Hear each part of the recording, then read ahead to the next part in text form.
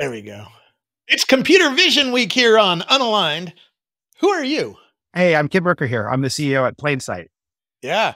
And I give it away already. Oh. You're doing a lot of computer vision. So uh, give me a like 30,000 foot view of what you're trying to do with your business. And then we'll dig into it because there's a lot. There sure is a lot. Yeah. So Plainsight, we're a business focused software tool for computer vision. I like to say that we sit between the camera and the spreadsheet. And so we're really letting you ter- turn a camera into a sensor. We can extract data. You point the camera at something in your business, maybe cattle or inventory or other produce being created, customers, cars in your drive through, whatever it is, pointing a camera to something in your business. You want to get data out into a spreadsheet or into an ERP system or BI system, which are just complicated spreadsheets. And we create these filters that are powered by computer vision. A filter like you would use on social media is the concept, but it's a, a containerized, easy to deploy application that wraps models. We also get, have a bunch of tools for for model training um, but that's really the, the, core idea is that is cameras to spreadsheets. Plainsight is the, the software tool for that.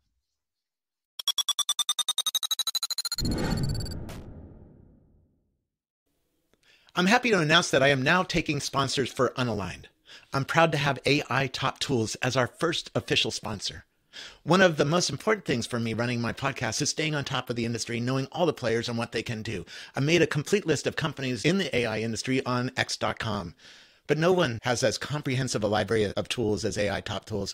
They break down products by use case, like productivity, media, chatbots, customer service, and more. A lot of companies are looking for the exact right tools for their needs, and there's no better place to find it than AI Top Tools. Yeah, yeah.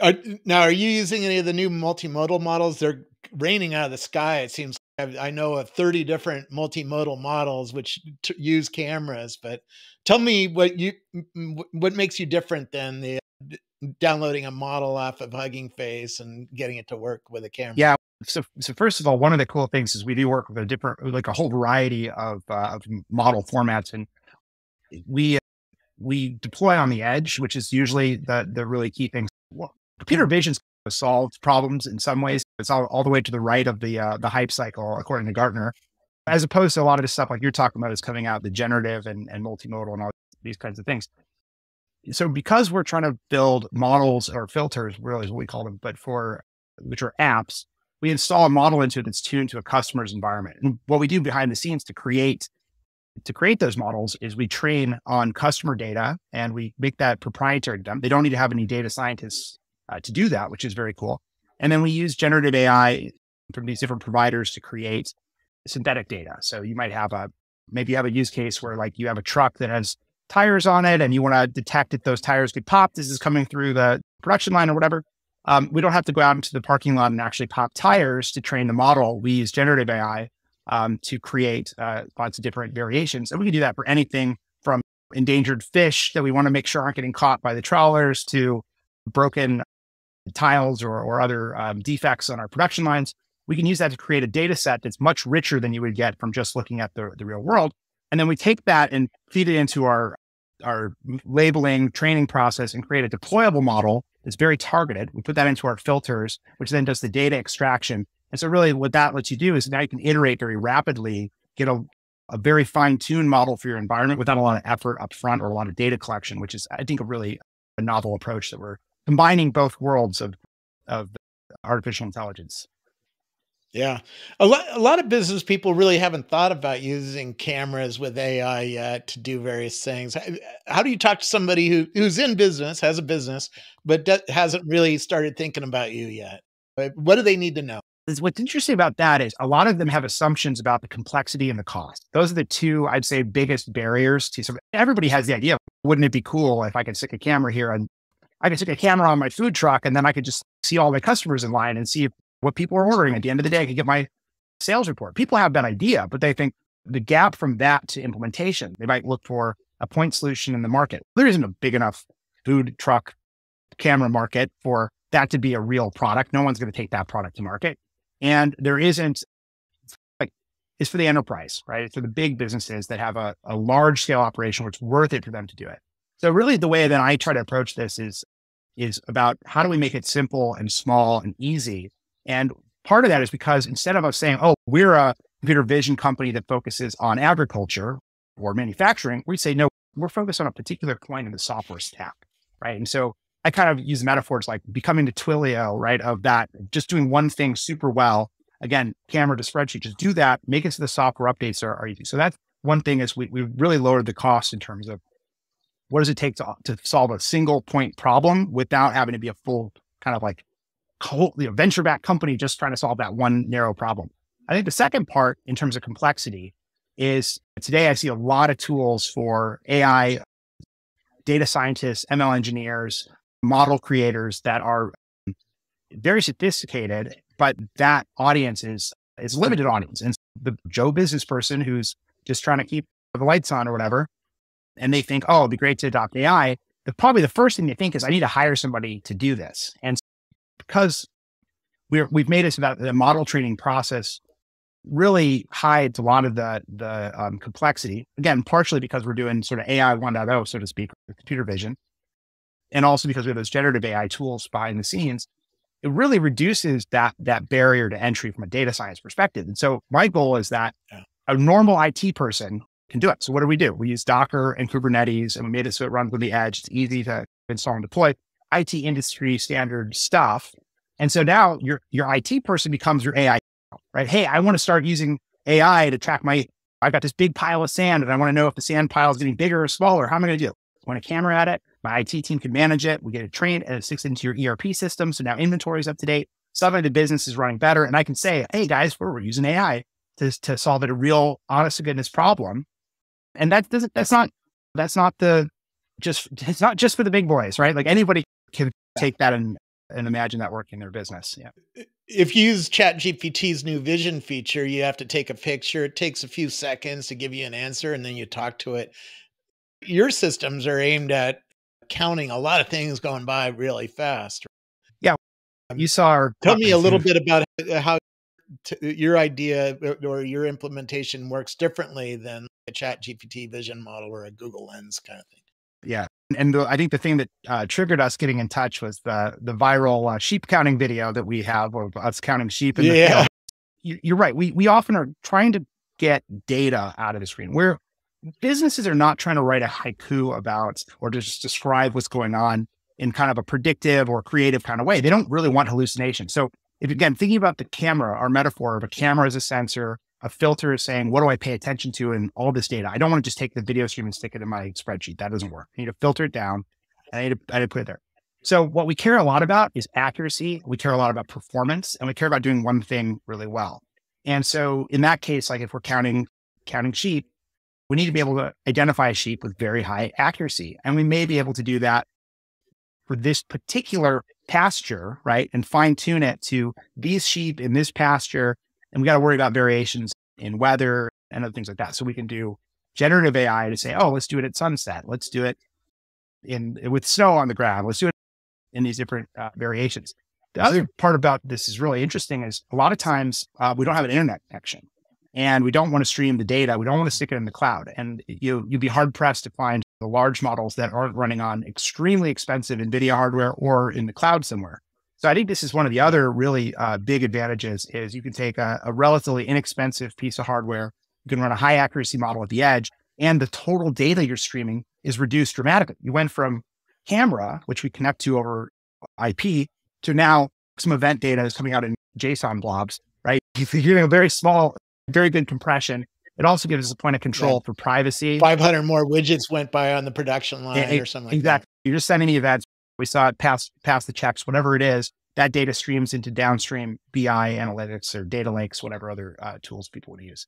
Yeah. yeah, businesses are there's a spectrum of uh, AI ness in business, right? There's highly AI centric businesses, and then there's people who haven't even learned how to spell AI yet. What are you seeing happen in, in the business world? What are the needs that are going on? And give me a little insight, insight of how yeah how business people are looking at these cameras and, and looking at this new technology and maybe even starting to think about oh i'm going to need an orchestra of ais to do a variety of tasks counting sheep is one of them but th- there's other things that ai is going to need be needing to do at, in a business right I, so tell me where people sure. are and i think everybody in 2024 needs an ai story And they either have a, a story that's a fable or kind of a story that's uh, nonfiction. Okay.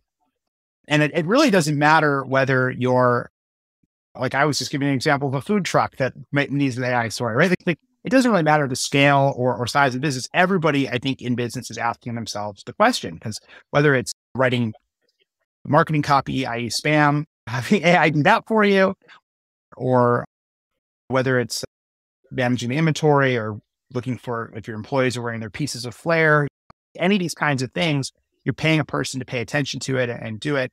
Everybody needs a story for it. So that I think is universally true. As I mentioned before, cost and complexity are a big problem for this mid market. I think there's a very clear uh, uh, mid market emergence now of a recognition because it becomes so much more mainstream.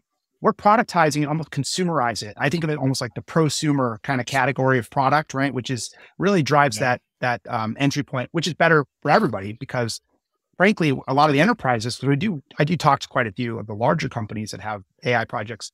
They all have battle scars and PTSDs from consulting projects um, which were science fair projects that were promised. But it's if you go through this whole engineering cycle just to prove whether we can do it or not, then you wave a magic wand and you say, "Did we get the insights we wanted?" And then, oh wait, privacy, security, updates, rollout, right, training, integration, all these other things that didn't do in the science fair project. So I think that a big part of what I'm trying to do with educating people about AI is about accessibility. It's look, we're making it easy. We're making it so that you can start small and that doesn't mean start small in a lab. It means start small with a single kind of point. But because it's a, a part of the IT stack, it's, a, it's like a well defined software stack infrastructure, right?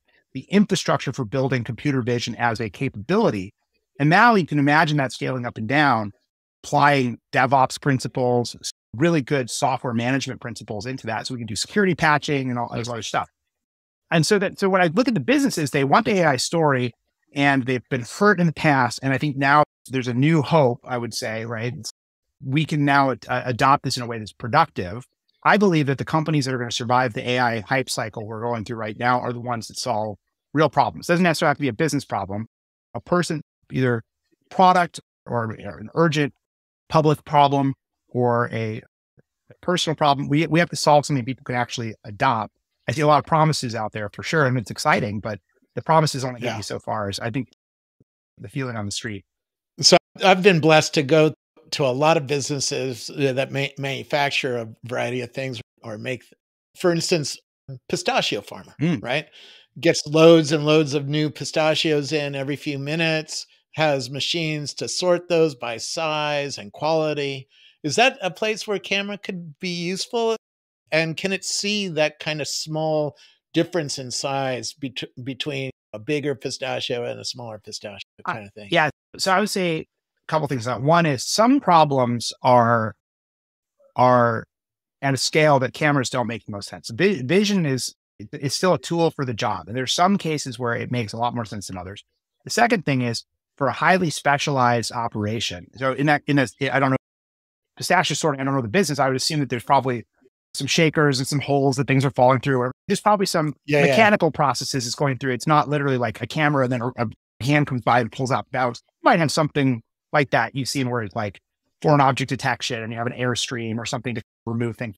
But if you're really doing one thing and you're really able to hyper specialize, right? You build a big piece of equipment, you you funnel it all in there, you run that process, and, and everybody's happy. I think of the computer vision world that we're seeing now is more like 3D printing. It's it's more kind of batch, bespoke. We do this once in a while. It's, it's confusing. We're paying people to stand around and fill out spreadsheets. That's really what I look for is, hey, if you have somebody who's going around counting, I'll give you an example. We work with a, a, a company that does uh, cattle. They sell cattle at an auction. And they have the ranch hands that are counting the cattle as the auction's happening. The auctioneer's dropping the gavel and talking real fast, and they're counting all the cattle. And then what's interesting is they have to have multiple people doing it because counting cattle is tough and you want to check the counts. And then the auctioneer every night after dinner watches the video and makes sure the counts are right as well. So they're spending a lot of energy doing what seems like a simple task, but the, the reality of it is it's not, it's a mind numbingly hard thing to do. And you have to be right because these are expensive commodities. And so that's the kind of thing where I see it applying much more clearly. I will, will also say though, in these production processes, that you might go buy a specialized piece of equipment that has computer vision built in. And what we're seeing now is as computer vision is becoming more available, you end up now with these silos, right? Okay, I bought this one solution for security. I bought this other solution for slip and fall. I bought this other solution for customer VIP, another one for threat theft detection. And now I've got this, I've got an IT mess is basically the, the situation you come in. So where, where we can come into that and say, look, you got one piece of infrastructure, one camera, one set of compute, deploy a Kubernetes cluster that runs all these filters and processes the data and gives that data out to the different teams. So the security guy or, or gal gets notified if there's a security issue and the customer care team gets notified if there's a customer care issue. And now that's a software solution, right? We're really abstracting away. It's not a smart camera. It's like we have this camera infrastructure, this compute infrastructure, and then software on top of it that's giving us this AI capability to go solve a business problem. And that architecture, I think, really takes what you described as this very specialized process. And now you can start to think of this with a little bit more imagination, and which could lead to, hey, maybe there's more opportunity to create differentiated products where before we had to have a single production line. Now we can have, oh, there's different flavors or different saltiness levels of the pistachios, right? And that's where you might have uh, a more more dynamic approach because now we have the ability to use software as a tool. It's just so much easier to update than these physical processes. Yeah. If you go to Louisville Bat Company, right, they make a lot of bats and they burn logos into their bats. Computer, could your style computer vision look at a bat and say, "Oh, that was made properly"? Yeah, that you that know, do some quality control. Fair, fairly trivial uh, quality control issue we can do with computer vision. The great example of something where, especially if perhaps you had in the past you had artisan people who really took pride in their work and looked at it and you could really trust them because you're doing small batches. Now you've got a more complex workforce that maybe doesn't have the the same kind of uh, artisan attention to detail, right? And so now you want to create consistency across different manufacturing locations. What's interesting on this topic, related, different, is labeling of food. Labeling of food is a very important issue, and it, it has to do with regulations that are changing constantly. And you think about international packaged food companies, and I heard a story, I don't know, I won't say large company it was, but they accidentally mixed up the printing between Lebanon and Israel and shipped a food with the wrong labels to the wrong countries because the person who was doing the labeling couldn't read the languages. They had to recall the whole thing. That's the story I heard. I don't know. It's interesting. And so you think about that. Yeah. So your point about Louisville Slugger, okay, well, maybe they want to do the same kind of thing, make a bat in another language, right? And now I got to do quality control across different languages. I can't even read it. I'm, I'm producing it in a country maybe with lower costs. This global supply chain issue. Now all of a sudden, our software can differentiate between these different these different products, and now we can get quality control, consistency, and we can report it back to home base. Because I think this is really the important part: is the person who cares about that sitting in an ERP, she's looking at her ERP system and trusting the data that's flowing through all these different games of telephone. What if you just stick a camera right at the source? Right, that's really the key. If I was working for Hertz Rental Car I'd probably not like to see lines of people waiting eh, to talk to an agent. So could we build a camera system that looks at like the lobby Wait where time, people yeah. would be standing in line and figure out, okay, how long did that customer number one stand in line to get to the counter and report that and yeah. give everybody a, a, look at, oh, at, at one in the morning, we had a lot of people standing in line because we didn't have enough staff on hand or whatever. So let's fix that problem. Great use case. Is that the kind of thing that you guys can do well? Yeah. And, and you think about that scenario. So waiting in line and being able to do like your workforce planning or even being able to, hey, send an alert. I heard a similar one for, hey, tell the manager to go to start making coffee or, or go notify people, go call people in if there's a huge herd. But if you think about the, the, the car return scenario, okay, identifying the cars by their bumper stickers, or excuse me, their, it might be bumper stickers or license plates, scratch detection, right? And so you can think about that. You look at the tires. There's a lot of work that goes into that walk around on the cars and deciding on, on that. There's a lot of different use cases there that are interesting. And again, for us, we think of those as filters. And it's a simple way to think about the problem, which is I, I build a filter that's really looking for one thing and paying attention to it and then rendering that data or outputting that data. So, and then I can string them together. So I might have filters for counting people, like you said, and then there might be some some overnight processing we do later with the cloud where we can now go and do some some okay are we seeing any patterns from that data in terms of the same employee that's upsetting all the customers and we have a conversation with them, or we're doing uh, facial detection to get sentiment analysis, right? Are they are these people happy? Are they not happy? What are we doing? Trying to bet, dig in a bit deeper and understand it and build some prediction around it. We don't do that part. Our goal is to give them to give you really solid data so that you can do that analysis downstream. And I think this is where starting to use different AI tools for the different parts of the job, right? The generative stuff for us, great input for for training, training it at the edge or running it at the edge for inference about what's going on and, and paying attention to what's happening in the world taking that into a data lake, then using data analytics, AI tools, predictive analytics, and other kinds of uh, analysis and categorization. And now that gives you a much richer view versus what I think a lot of people's conception is uh, the, the, sort of layperson conception of AI is it's it's ChatGPT. And there's just so many different variations to what what can be used again in concert to give people a technology solution, picking the right tool for the job. Yeah. Yeah. If I owned a grocery store, I might want to be using computer vision on dwell times, like uh, how long are people hanging out in the cookie aisle, and how can we in, increase that or increase sales of people who are standing or, or see an empty shelf and generate a pick list for the inventory team to come and refill. Like there's there you, when you start peeling back, and this is what's so fun about this. You you're you should be on our our uh, idea generation team. Right? It's like we, are always thinking about, so we have a channel on our Slack called Filter Ideas. And so anytime anybody has a filter idea, a lot of times for me, it's two in the morning, I come up with an idea, we post it there, and we, we're always talking about different ways to build filters for customers. And we get, we hear a lot from them. They have ideas that, that they have as well. But yeah, the opportunities are, are limitless. I think the, the biggest thing I've found is that when you go into a business, you have a lot of ideas about where we can apply AI, right? And customers have a lot of ideas the the difference between one that's really good and one that's less good is if they're already doing something, they already have a place for the data, they're already trying to solve this problem today and they're doing it manually, it's usually a, a good indication that it's a priority to do it. And it's not going to be something where the technology is going to, the tail that wags the dog, right? It's going to be like solving a real problem.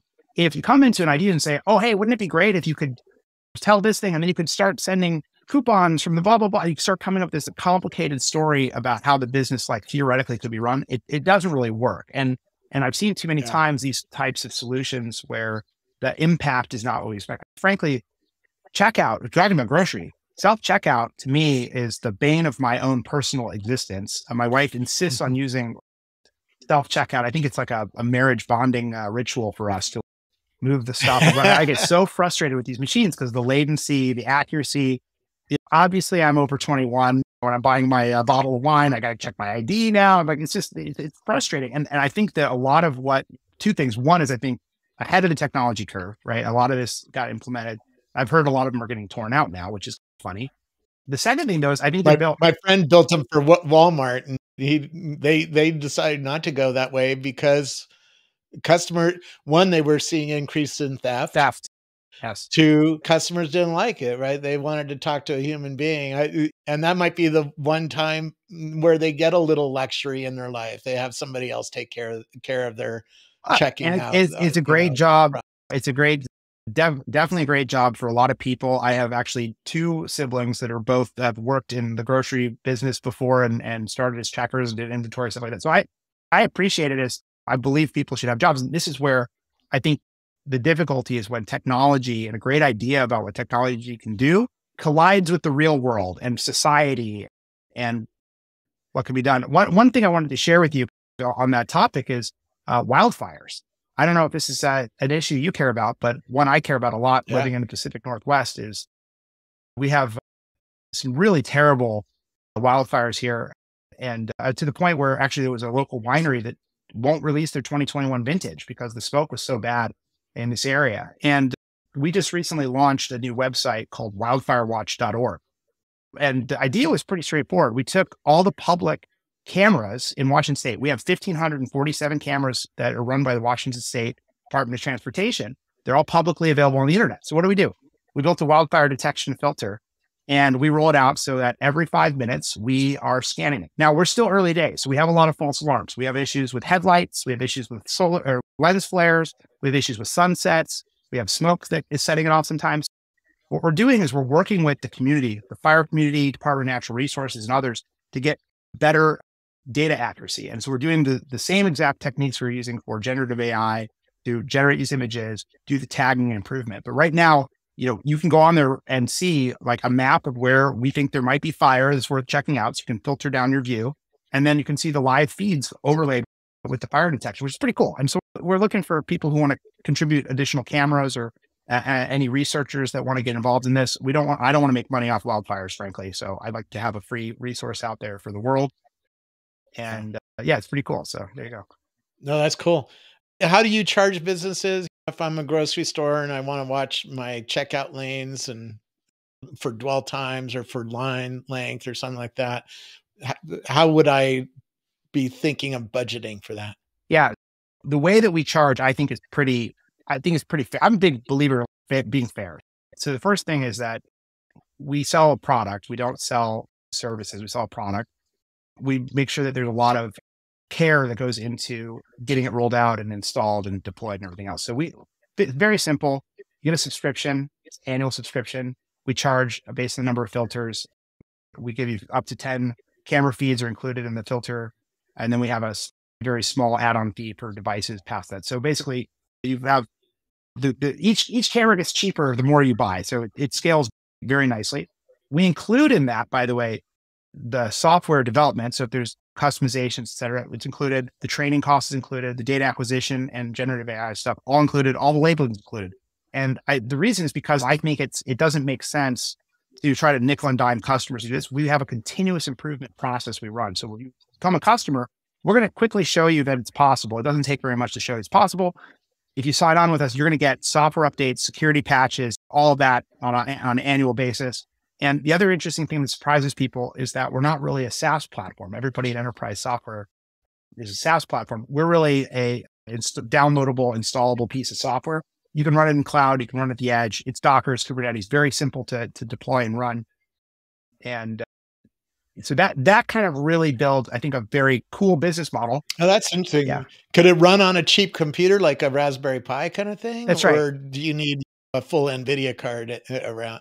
On the yeah, computer. So that, that's also a great question. So one of one of the things we're working on right now is model optimization for different hardware specs. And so what we do is we have a hardware guy uh, who uh, basically has a, a, lab where he's got different hardware specifications and we can benchmark it. So what we'll do is depending on the intensity of the compute requirement. So in, in some case, you might have a whole, you know, big box store with lots of cameras, lots of processing. What's cool in our world is you can just stick a, one big box there and you can run a Kubernetes cluster on it and you can just process all the video you want and you don't have to worry about. In other cases, you want to have a smaller device or as small as a chip. And it really has to do with computing complexity, model accuracy, how much data you're processing, but it scales up and down pretty nicely. And depending on the use case, it could be different, different levels of hardware. We try to make sure that's priced. We don't sell the hardware, by the way. We actually do a hardware starter kit. We mail out to our customers, includes a couple cameras, Jetson, Orin, NVIDIA device, and some extra, you know, goodies, some tripods and things like that. And what's cool is we send it out to customers when they sign a little uh, getting started agreement. If they convert into a paid customer, they get to keep it. And if not, they just mail it back. So it's a very simple way for us to get uh, past the hardware uh, issue. And then we help them scale from there, figure out the right hardware strategy. Yeah. You, you mentioned inventory a little bit if we were doing a inventory for a Walmart, that's a lot of shelves to look at, right? Do do you start thinking about putting a camera on each shelf, or do you think about moving that around in a in a robot or a drone or that kind of thing? How, how do you think about doing inventory, even for a small store like a little liquor store or something yeah, like that? Yeah, yeah. This is one of those sort of it depends situations. If we can get overhead cameras or existing cameras, we usually start there. We usually start with what cameras do you have? Let's see how good we can get it with what you have and then if there's some blind spots we're not getting the accuracy we want, we can make some recommendations around that. I, I, I the drone use case is really interesting. More applicable, I would say, in orchards or in in in groves and those kinds of agricultural environments. We do have some some drone missions that we support, which is a very cool thing where you can go yeah. and uh, fly drones, upload the videos later. So there's a variety of different techniques. The surprisingly, a lot of grocery stores already have eye level cameras that you don't even know about that are in the shelving. And so if we can get hooked into their their sort of camera management system and scale that would work. Pretty much everybody's got security cameras and they're underutilized. And so one of the things you can do is a starting point is, hey, let's take a look at what securities you can, cameras you have, and then let's like hook into them through RTSP, and then let's see if we can start adding some filters to it and get some value out of it. It, it, again, it's really it it's so specific to the space, but if if there's a big enough need they see the business value to to take action and to track the data better, and they're paying somebody to do it already that maybe is inaccurate, expensive, or maybe it goes on vacation, right? We can replace that. But if you say, oh, I got to go spend $100,000 to go deploy cameras out to the store, and is it really worth it? We, we will quickly tell you that, hey, don't waste your money. Let's be smart about this and make sure that it's worth it. I, to me, that's a really big part of this. I don't want to sell technology to people who aren't going to see uh, benefit. I will say, though, that from a pricing perspective, we usually are cheaper. An annual subscription is usually cheaper than a proof of concept with any sort of other company. So we, our total cost for a year is like about the same price as doing a POC with a big company, which usually pencils out pretty well. Yeah. Yeah, that's cool. What what else do people need to know about this new computer vision world? Uh, it's old, but it's getting new. it's, yeah. I've seen computer vision for a decade, but now it's getting smarter and smarter, and the systems that it's getting integrated into are getting smarter and smarter. Yeah. So I, I think what people should know is that if you have an idea for it, we'd be happy to talk about it and no no obligation. I'm always very happy to listen to to students, to researchers, to public officials, to business executives, to IT people that are either have an idea but aren't sure where to get started or have a project where they feel like maybe they're either overpaying or it's too complicated, too risky.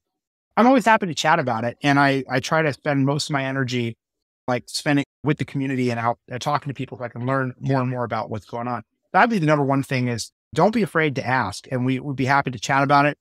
And we also on our website, we have a couple resources I think are interesting. One is we actually have a listings for filters. So if you go on to plainsight.ai, you can click explore filters and you can see some of the filters that are out there. And that sometimes is inspiring for people and they say, oh, this is something I would want to do.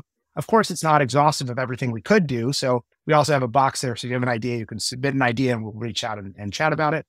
We also launched something called FilterBox, which is our Dockerized runtime. And we made it available as a demo right now. So we have uh, a face blur. We have what we call Seymour Pong, where it takes your hands and lets you play Pong on the screen. Seymour is our uh, mascot because we like to say you Seymour business, our, our elephant uh, mascot, Seymour. And then there's an object detector. I think it detects 80 common objects. You can hold them up and it'll put boxes and show. So you can show kind of a simple way to get started with with filters yourself and see some pre-built models. We're trying to make that more easier to do, more accessible, run more platforms over time. Would love feedback from anybody who who tries it out. Very cool. Where do we learn more about it? Before we get into oh. that, but uh, give me a uh, go into your business a little bit. Uh, how many people work there? How were you funded? Give us some fundamentals behind. Oh yeah, business. yeah. So it's an interesting, it's an interesting story. I'll, I'll give you the short version, but I joined recently and we've actually created a, a brand new company in this economy. Of course, companies have gone through ups and downs and Plainsight Technologies is no different. So completely rebooted it recently. In terms of funding, we're privately privately funded by an investor in Chicago who's done quite well and is really interested in the space and given us a really strong mandate to build, I think, a very unique and scalable business uh, around this concept of taking computer vision to market for businesses. And yeah, roughly uh, 20 employees, mostly engineering, some sales as well, and some delivery folks. But it's a, it's a pretty lean uh, team, which is, I, I really enjoy that. I like running small companies where we can wear a lot of hats, get a lot done. I've been very focused on the product and how we take the product to market and then thinking of a lot about building something pretty unique from a culture perspective and from execution perspective. So fun. And yeah, hopefully we're going to be, hopefully we'll be big someday. I don't know. We'll grow up. Yeah. A lot of computer vision jobs out there to do. So that's right. Yeah. Until they're all done. Where do we learn more about you? Plainsight.ai. And the AI is right in plain sight. So P L A I N S I G H T dot AI is the best place to go. And you can see all about us and all of our filters and filter box and how it works and get in touch that way. And see the sheep counter. and see the sheep counter right there on the homepage. That's right. Thank you so much. It was great. this is a new world. It's it's really interesting to see what businesses are doing with cameras as c- cameras continue coming down in, in cost and the, the, capabilities continue going up. It's uh, exciting times. So Thank, thanks for uh, being on the show. Thanks so much for having me. Great to meet you, and I hope we get to do it again someday. Yeah, uh, definitely keep in touch. Maybe you got some new robots coming with this kind of technology or whatever. Seems like that's the other theme of the day. I, I just visited a landscaping business that's building robots, and they're using computer vision to find the edge of the lawn and stuff like that. So there's all sorts of things to do with computer vision, which is a lot of fun. Amazing. Yeah, very cool.